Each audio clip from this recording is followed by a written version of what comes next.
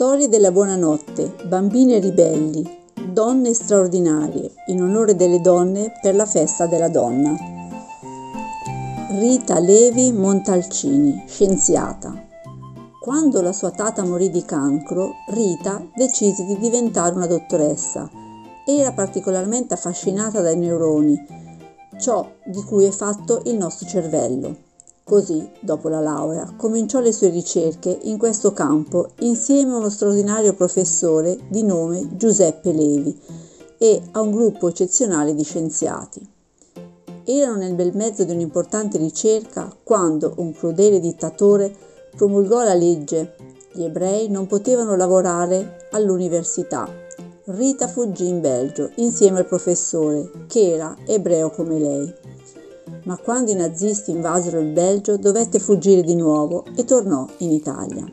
È difficile lavorare come scienziata quando devi nasconderti in continuazione e non hai accesso a un laboratorio, ma Rita non si arrese. Trasformò la sua camera in un piccolo laboratorio di ricerca. Affillò gli aghi da cucito per creare strumenti chirurgici e sistemò un piccolo tavolo operatorio di fronte al letto che usava per dissezionare i polli e studiare le cellule al microscopio. Quando la sua città fu bombardata, Rita fuggì un'altra volta e poi un'altra volta ancora, di nascondiglio in nascondiglio. Tuttavia, qualunque fossero le difficoltà e ovunque si trovasse, continuava a lavorare.